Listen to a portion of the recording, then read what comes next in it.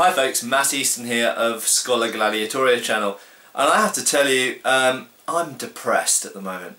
I'm not depressed for any serious reason.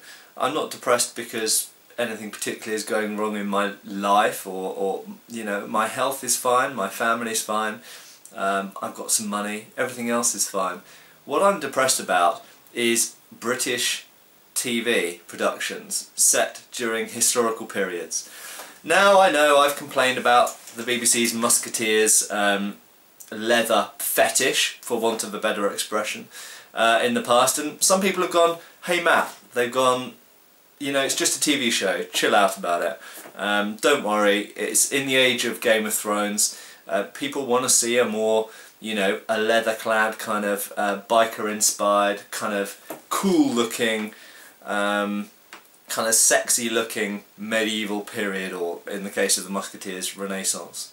Um, and I can understand all of that. I can understand the need to, to make things more uh, pleasing to the modern eye. We don't, you know, medieval clothes, let's face it, if we look at historically accurate medieval clothes, a lot of the time, to a modern person, they look pretty stupid. Um, if you look at 15th century hose as featured in the fencing treatises of Hans Talhoffer, um, they look pretty they look pretty stupid.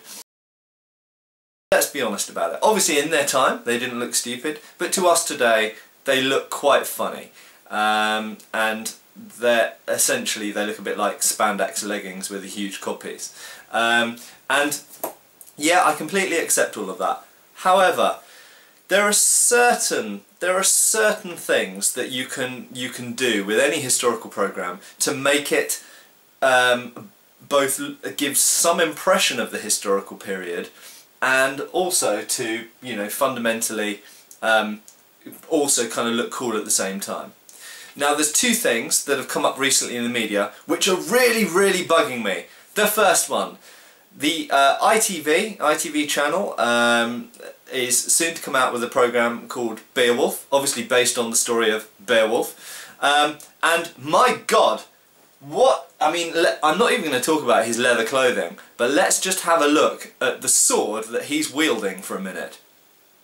See, the problem with this is uh, not just the kind of 1980s fantasy uh, get-up gear that he's wearing, the, the weird kind of leather stuff with the kind of what the gladiator-inspired thongs hanging in front of his crotch and what is with all those straps? Man, that is a lot of bondage straps he's got across him. But just ignoring what he's wearing for clothes, what the hell is going on with that sword? So this is Beowulf, yeah? Beowulf, this is set in the Dark Ages. What's he doing with a longsword? Okay, that's the number one. But the second problem is that anybody who's at all familiar with fantasy films is going to go, oh wow, they've combined Conan the Barbarian's sword with the pommel of Jon Snow's sword. It's like, come on guys, use some imagination.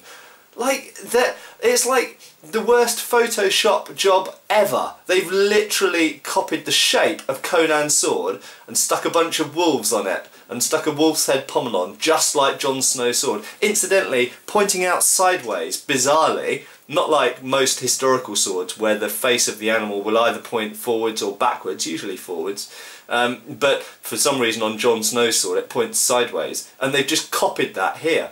This is the laziest form of, of kind of cost, costume design that I've seen in a really long time. Um, the costume is like vomit worthy, I'm not even going to mention that. But the sword, oh my god, um, it, this is seriously making me depressed. Um, like please maybe have a sword that looks a bit like a Dark Age sword. You know, a one-handed sword rather than a long sword. Um, but, I mean, even if you're going to have a long sword, don't make it look like a blatant copy of Conan the Barbarian sword and Jon Snow's sword. Come on, guys. So I think we've established that one of the things contributing to my depression at the moment is ITV's Beowulf um, costume and particularly that sword. Oh my god, vom. Um, but the other thing that's depressing me at the moment is I got really excited when I heard that the BBC was going to make The Last Kingdom based on Bernard Cornwell's books um, set during the Viking invasions of the mid-9th century. Um, and you know what, I have to be honest, I still will watch it and it still might be perfectly enjoyable. Um, I'm not so anal about this stuff that it stops me from watching them. I'll still give the shows a, you know a chance and I, I enjoy watching Game of Thrones and, and you know stuff that's fantasy and I'm not a complete historical like blinkered. I am willing to watch um, a story for the fact you know that it's a good story.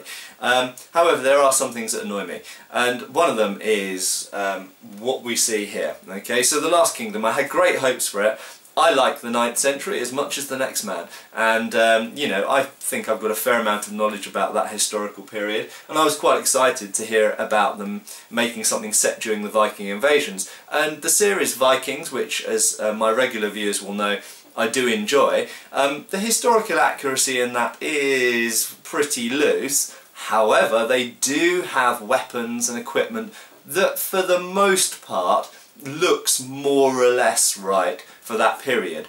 They're not using big two-handed swords, they're not using plate armour for the most part. Um, they, you know, they, they've kind of got the right level of technology. If we look at the poster here for The Last Kingdom, England is born. England wasn't born like this, I have to say.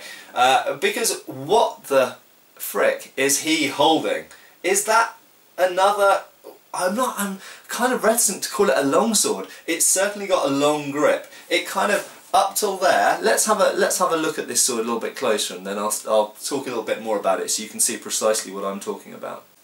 So what we have here is something that up to the crossguard, including the crossguard, looks vaguely like a, a, you know a Viking era sword, a sword of the 9th century. That's fine. It looks, I mean, we can only see a bit of the blade. The blade looks kind of the right shape.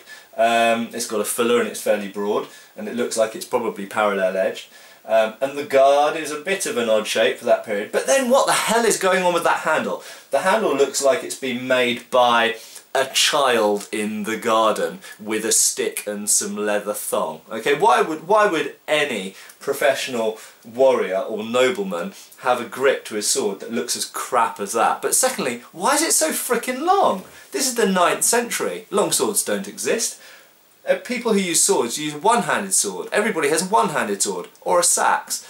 And incidentally, this character in the books is known for using both a one-handed sword and a sax um, with a shield. Okay, if you're using a shield all the time, it doesn't make any sense having a longsword grip. Not to mention the fact that they didn't exist at this time. But then what on earth is that stuck where the pommel should be? First of all, where's the pommel? I want to know who's stolen his pommel and why have they replaced it with a freaking great lump of amber? Seriously? Like, what is that all about? It's one of the ugliest things I've seen, well, since I saw the Beowulf sword actually, but this thing is pretty horrible. Uh, long grip, shouldn't be there, should be a one-handed sword, and it should have a pommel, not a lump of bloody amber. So I think we've established that I'm somewhat annoyed by the swords shown on uh, the stills from Beowulf from ITV and The Last Kingdom from the BBC. Um, and that's not where it stops. Um, but I don't want to rant on for too long because, um, you know, I don't want you to get bored and tune out. But the final thing I want to mention is that if you watch the trailer for The Last Kingdom, which you can see on YouTube, or Vimeo or anywhere else, um, you'll see that the Anglo-Saxons mysteriously are using rectangular shields, as shown here, um, that you can just about see in that still. Why? It's not like only the Vikings had round shields and everyone else used some other special shape so that we can easily tell that, oh, those guys are Saxons because they have rectangular shields. No! It's just like it just looks completely wrong for the period. Rectangular shields makes me think Romans, okay? Romans are the ones who famously used rectangular shields. So when you're making something set during the 9th century, why give Anglo-Saxons a shape of shield that's famously associated with an entirely different culture from a thousand years earlier? There we go guys, um, so I hope, I honestly hope that the ITV's Beowulf and um, BBC's Last Kingdom are really good. Uh, but the swords and the shields, I can tell, are going to really fricking annoy me. And if they really annoy me, I can be pretty sure they're going to annoy a lot of my viewers out there. Thank you for watching. Please subscribe and feel free to follow us on Facebook.